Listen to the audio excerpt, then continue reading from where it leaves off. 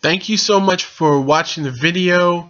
Make sure to subscribe and if you are enjoying and you find value, make sure to like um, as many videos as possible so that I can keep bringing this to you.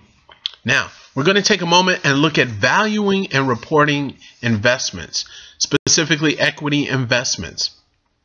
Two categories, trading and available for sale. So let's take a look at trading. So when we're looking at trading, trading securities in uh, particular, companies are going to hold uh, trading securities with the intention of selling in a short period. So we're looking at the intent. The intent is not to hold, it's to sell in a short period. So we're, we're talking about trading that's frequent buying and selling.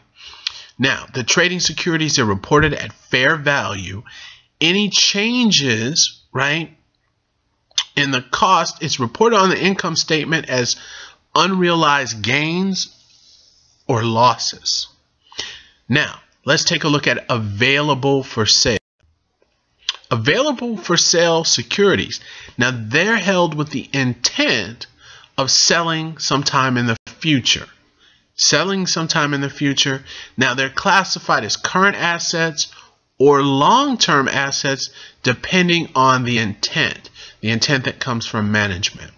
Again, reported at fair value. Now, changes from cost are reported in the stockholders' equity section, and then they're done as unrealized gains or losses. Thank you again.